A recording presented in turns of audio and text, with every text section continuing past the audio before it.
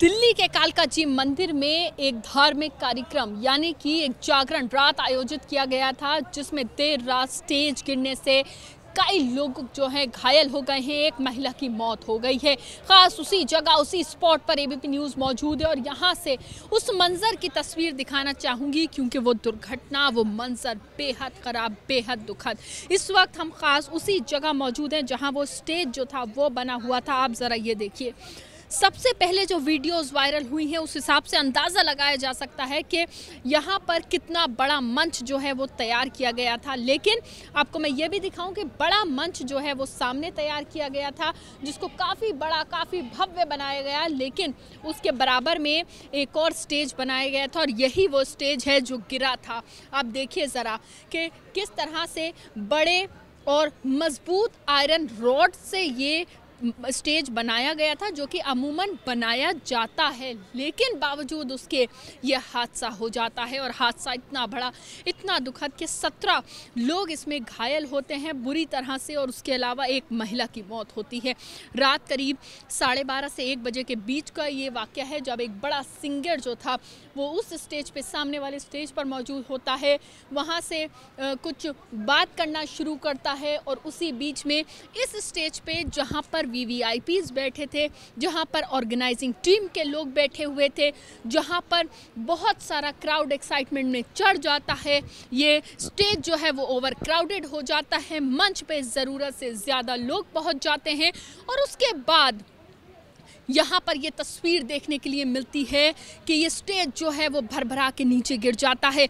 लेकिन सबसे बड़ी बात यहाँ पर यह है, सबसे बड़ा सवाल यहाँ पर यह खड़ा होता है कि आखिर जिम्मेदार कौन? क्राउड अगर ज़्यादा था तो उसको आखिर मैनेज क्यों नहीं किया गया? क्योंकि आप देखिए, अब वो तस्वीर दिखाना शुरू करते हैं कि आखिर यहाँ हुआ क्या, कैसे हुआ और अभी क्या तस्वीर है?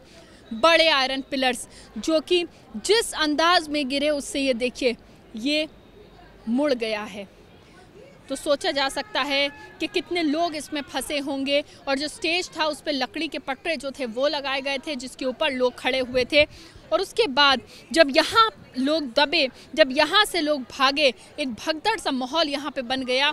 तो आप देखिए कि यहाँ पर जो लोगों के जूते चप्पल हैं, वो बिखरे हुए हैं, क्योंकि जिस जल्दबाजी में, जिस तेज़ी में, जिस शोर शराबे में लोग यहाँ से भागे होंगे, उसका ये मंज़र है, उसकी ये तस्वीर है।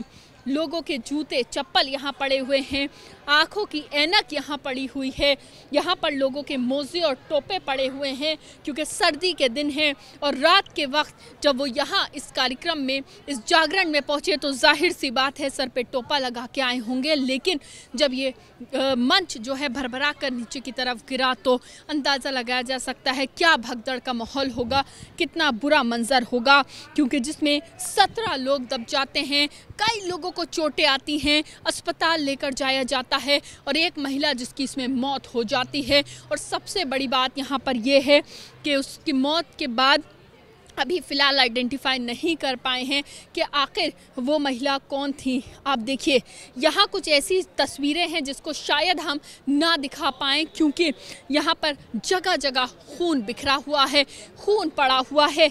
लेकिन ज़रा ये तस्वीर देखिए आप कि एक माँ जो अपने छोटे से बच्चे को गोद में दबा के लेके आई होगी, उस जागरण में लेके आई होगी, उस बच्चे को किस तरह से अपनी और उसकी जान बचाकर यहाँ से भागी होगी कि उस मासूम का जूता जो है वो यहीं रह गया। उसके अलावा अगर आगे की तरफ़ चलें, क्योंकि रात का ये वाक़ था और सुबह से ही यहाँ पर स्टेज का जो सामान है, उसको देखिए, ये बड़े पटरे थे जो स्टेज पर लगे हुए थे।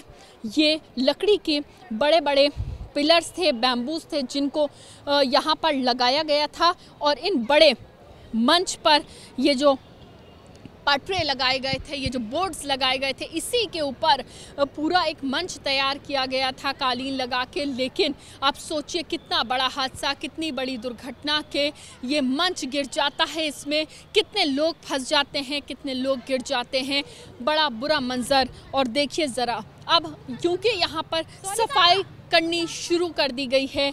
लेकिन जो मंज़र है वो बेहद दुखद है क्योंकि जहाँ नज़र जा रही है, वहाँ सिर्फ़ जूते चप्पल नज़र आ रहे हैं, वहाँ से छोटे बच्चों के मोज़े टोपे नज़र आ रहे हैं और ये वो निशान हैं जो साफ़ तौर से बता रहे हैं कि रात आखिर जिस वक्त मंच गिरा, उस वक्त यहाँ पर हज़ार से भी ज़्यादा लोग मौजूद थे। लेकिन ये जगह इतनी बड़ी नहीं जहाँ पर हज़ार लोग आराम से समा जाएँ, जहाँ पर आराम से चल, चलें, बैठें। लेकिन क्योंकि जगह इतनी बड़ी नहीं और लोग ज़्यादा और जब भगदड़ मची तो यहाँ पर लोग अफरा तफरी में भागे। और देखिए, जो यहाँ पर कूड़ा उठाया गया, उसमें जूते, चप्पल लोगों के बिखरे हुए हैं। इस तरफ़ मैं चाहूँगी ज़रा दिखाया जाए कि ये तस्वीर सिर्फ़ यही दर्शाती है कि रात आनन फानन में जिस तरह से इस दुर्घटना के बाद लोग भागे, वो वाकई ही मंजर बेहद दुखद जगह जगह खून के धब्बे, छोटे बच्चों से लेकर बड़े लोगों के जूते चप्पल यहाँ पर बिखरे हुए हैं। और उसके अलावा जो चश्मदीद हैं, वो ये भी बता रहे हैं कि मंज़र बेहद दुखद, बेहद ख़राब था। और यहाँ पर आप देखिए ज़रा, जो सुबह लोग यहाँ पहुँचते हैं, वो जब सुन के यहाँ पहुँचते हैं तो देख के इस तस्वीर को ज़ाहिर है कि बहुत ज़्यादा उनका दिल भी मायूस हो जाता है, क्योंकि बहुत सारे लोग, जिनके परिवार के लोग भी यहाँ पहुँचे हुए थे, वो ये सोच के पहुँचे हुए थे कि यहाँ पर ये जा रहे हैं तो ज़ाहिर सी बात है टाइम भी लगेगा और उसके अलावा यहाँ पर जैसे जब घर जाएँगे तो शायद ये बुरी याद नहीं लेके जाएँगे, लेकिन उन्हीं के सामने बहुत सारे लोग यहाँ पर दब जाते हैं, चोटें आती हैं और उसमें एक महिला की मौत भी हो गई है। लेकिन फ़िलहाल सवाल यही खड़ा होता है कि आखिर ये स्टेज अगर ज़्यादा लोगों के चढ़ने से गिर, गिरा है तो ऑर्गेनाइजिंग टीम कहाँ थी? क्राउड को मैनेज क्यों नहीं किया गया? ज़िम्मेदार लोग कहाँ थे? क्यों लोगों को मंच पर चढ़ने दिया गया? क्यों लोगों को मंच से उतारा नहीं गया, क्योंकि अगर ज़रूरत से ज़्यादा लोग चढ़ते तो हादसा होना तो लाजमी सी बात है। क्यों यहाँ पर मैनेजमेंट की कमी थी?